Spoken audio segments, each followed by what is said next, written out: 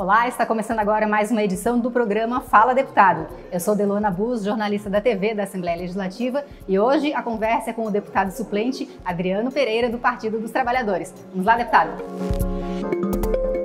Então vamos conhecer o gabinete. Aqui né, é a, recepção, aqui quem atende todas as pessoas que aqui chegam é a FAB, né? E aqui é feito o acolhimento né, de todas as lideranças, vereadores, prefeitos, entidades, todos que vêm aqui né, na Assembleia Legislativa, no gabinete da deputada Luciana Carminati, que agora estamos nesse, nesse período ocupando como deputado estadual, né, com muita gratidão, inclusive, é, tendo essa oportunidade de estar aqui por 60 dias, né, é, buscando bem representar os catarinenses. Né, e aqui nós temos todo o departamento da assessoria, nós temos a área que atua nos atendimentos da área da assistência social, da área da cultura, temos aqui o Tonico do jurídico, né, é, carinhosamente conhecido por todos aqui na Assembleia, né, um grande profissional. Ali fica chefe de gabinete. Então aqui tem uma grande equipe também de suporte que dá o nosso suporte no, no nosso trabalho diário.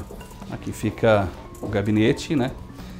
É, é um lugar importante porque aqui a gente concentra né, a, a nossa dedicação diária no sentido de analisar bem os projetos, preparando os nossos, as nossas falas, as nossas demandas que vamos levar da população ao plenário da Assembleia Legislativa. Então aqui realmente é, é o lugar que a gente tem que estar bem concentrado e, e, a gente realmente faz toda a análise das pautas, das comissões, das sessões, enfim, prepara todo o nosso trabalho né, para bem representar o povo catarinense. Aqui tem a foto do meu filho, que é a razão da minha vida, o Adrianinho, né? Então, está aqui sempre Quantos anos ele tem? Pertinho de mim, né? Vai fazer 14 anos agora, né?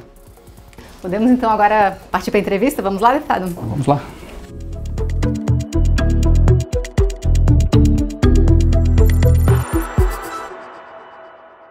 Deputado, o senhor é músico, já trabalhou como radialista, é formado em gestão pública e atualmente está no terceiro mandato como vereador em Blumenau. Eu queria que tu falasse um pouco da tua trajetória e como é que você entrou para a política.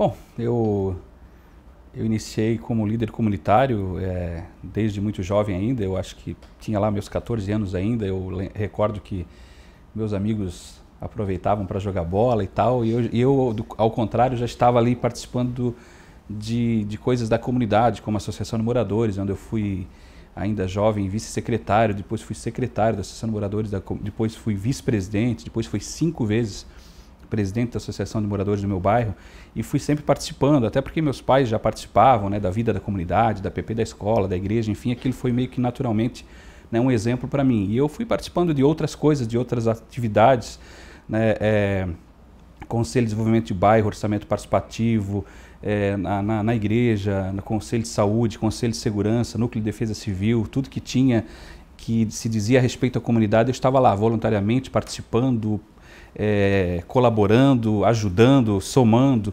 Né? E, enfim, foi sempre assim essa atuação nos protestos, nas manifestações, cobrando é, melhorias, atenção para a comunidade, para as pessoas, correndo para cá, para lá, ajudando em tudo que eu podia.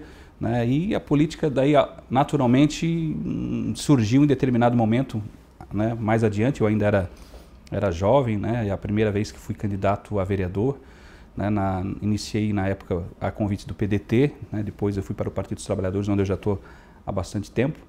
Né, e enfim, né, na primeira eleição ainda muito, muito é, sem essa experiência e tal, mas né, é, não, não conhecia tanto assim sobre a política, né, mas alguém identificou em mim que era possível ter, através do meu trabalho naquela comunidade, alguém que pudesse na política representar aquela população. E aí na, na, na ocasião, fiz 500 votos, mais ou menos. Depois eu fui candidato novamente, dobrei praticamente a minha votação. Depois fui novamente candidato, dobrei praticamente novamente a minha votação. Enfim, e, e eu continuava trabalhando, né? Eu, era candidato, é, perdi a eleição, mas as votações elas sempre cresciam, mas eu continuava fazendo meu trabalho e deixava a política naturalmente acontecer na minha vida. Logicamente que pelo fato de as votações sempre irem gradativamente crescendo, eu fui sempre colocando meu nome à disposição, até que na quarta vez eu fui eleito titular, né, porque na anterior, nas anteriores eu já havia ficado suplente, tendo a oportunidade por duas vezes, também por 30 dias em cada um dos mandatos anteriores, ter tido a experiência de ser vereador suplente lá no município. E aí na quarta vez, logicamente, como titular. E aí teve a reeleição, a segunda reeleição e teve a terceira reeleição, né, o que agora já totalizou três mandatos consecutivos né, lá na Câmara Municipal de Blumenau, onde são 15 vereadores, onde a disputa é muito grande, né, são, né, tem eleições lá que a gente tem cerca de 300 candidatos né, para disputar 15 cadeiras, mas a gente sempre consegue ficar numa boa colocação expressiva de votos de, através do reconhecimento das pessoas ao nosso trabalho, que é feito de forma permanente, sempre presente nos 35 bairros da cidade, nos eventos, nos morros, nas vilas, nas comunidades. A gente, eu faço sempre questão de ser muito presente. Né? Então, é muito assim, importante esse contato com a comunidade. Como é que você traz isso para a política? É super importante. Eu acho que a receita de sucesso dos meus mandatos, inclusive lá, é justamente isso: é estar sempre presente. Né? Essa questão de essa questão de que alguns políticos é, usam de, de, estar ou aparecer na comunidade ou se inserir no meio do povo apenas em véspera da eleição, isso realmente é inaceitável. Então eu sempre busquei estar presente durante os quatro anos junto aos bairros, junto à população, e isso acho que é a principal receita. E aliás, não é só receita, eu acho que é obrigação né, de um bom político, de um bom representante do povo estar sempre presente. Na última eleição para deputado estadual, você concorreu, ficou na sexta suplência, né, deputado, e agora assumiu aqui a cadeira durante dois meses. Como é que está sendo essa experiência? O que, que te marcou? Exatamente, em 2018 foi bem, é, pode-se dizer, em cima da hora, assim, fui convidado para colocar o meu nome à disposição, até porque é, a gente não tinha certeza de que a nossa, então, representante lá na nossa região, que era a deputada estadual Ana Paula, por sinal, teve quatro mandatos consecutivos aqui, ela é, realmente ia colocar o nome a federal, a gente sempre tinha essa dúvida realmente, e ela colocou né, o nome Daí foi uma pena que por um voto acabamos perdendo a representação federal lá da nossa região, né? Enfim, é, e de repente, próxima eleição, ela realmente veio e disse, olha, eu realmente vou a federal e gostaríamos de contar com o teu nome à disposição para estadual aqui no município. Então foi, foi meio que em cima da hora e mesmo assim a gente conseguiu fazer uma, uma votação é, considerável no município, né? Foram mais de 8 mil votos na, naquela, naquela eleição e o que nos deu a condição de ser suplente, e a gente tem esse acordo no partido que é da oportunidade ao suplente também, lá em Blumenau eu faço isso, no Legislativo já vários suplentes assumiram, né? neste momento está tendo uma experiência importante lá inclusive de um coletivo, um mandato coletivo, que é algo inédito né? é, nos legislativos aqui do nosso estado, né? que estão atuando lá no meu lugar, né? e aqui também outros deputados do nosso partido já fizeram isso, o padre Pedro já fez isso com alguns suplentes, a deputada Luciana que me oportuniza essa oportunidade. Eu sempre digo, ninguém chega sozinho, né? A gente precisa de um coletivo, a gente precisa de um grupo, a gente precisa de lideranças, de bons nomes, bons quadros ali trabalhando, somando para que se chegue no resultado onde aqueles que chegam, alcançam a cadeira, obviamente têm a responsabilidade de representar todos e principalmente trabalhar para todos. Neste caso, para todos os catarinenses. É, deputado, desde que o senhor chegou aqui na Assembleia Legislativa, você já usou a tribuna do Parlamento algumas vezes e um dos assuntos que o senhor costuma falar é a questão da educação aqui em Santa Catarina e principalmente na região de Blumenau. É, o mandato da deputada Luciane Carminati é pautado principalmente pela, pela educação. Então a gente tem buscado, além das nossas outras pautas que a gente tem trazido na área da saúde, da infraestrutura e tantos outros segmentos, a gente tem também preservado a bandeira de mandato da deputada Luciane, que é a educação. Então a gente tem visitado escolas, é, vi, visto a problemática de perto né, de, alguma, de algumas situações de alguns educandários, principalmente na nossa região, né, e a gente tem trazido isso à tribuna do Legislativo aqui, da LESC, justamente para cobrar da Secretaria de Educação, do Governo do Estado, a atenção que a educação precisa. Temos visitado os municípios, alguns municípios, falado com prefeitos, falado com vereadores, ouvindo as demandas.